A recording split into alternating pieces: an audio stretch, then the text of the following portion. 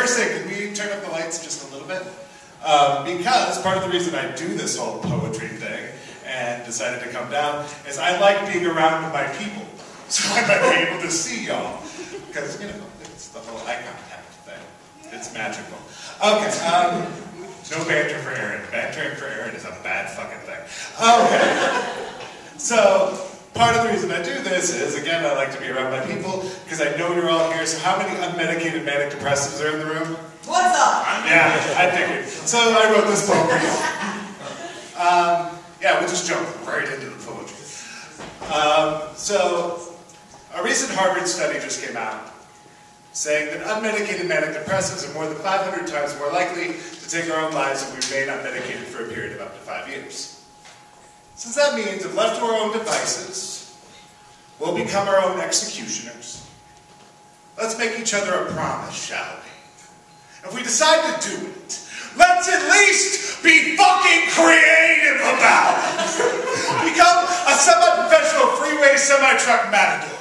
Organize your own home bleach taste test. Engage a grizzly bear in a staring contest. Refuse to lose until you do.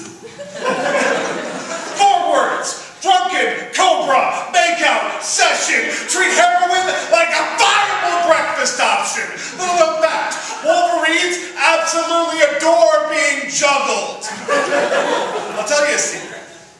Most of my suicide attempts have not been what you would call fully committal. Second story death plummets. Two whole bottles of NyQuil. Suspiciously loosely tied noose. I have orbited around death my entire life with the same intensity I used to hover around the cool kids table in junior high. Hoping if I just got close enough, it would tell me all its secrets, welcome me in, and I wouldn't feel so fucking lonely anymore. Shit I've learned since then! like the cool kids table, death is not a mystery. It's just a place we ain't been to yet. I've never been to Scranton, Pennsylvania either, but I'm here to say it's not a mystery. I bet you death has a Walmart too. And I get it. There are days that we're tired of clutching our endless tickets to the infinite parade of ugly. We're tired of always having to catch the knife by the handle. We're tired of looking into the mirror, into the eyes of our own eventual assassin, but look at us. When have we ever been good at anything easy?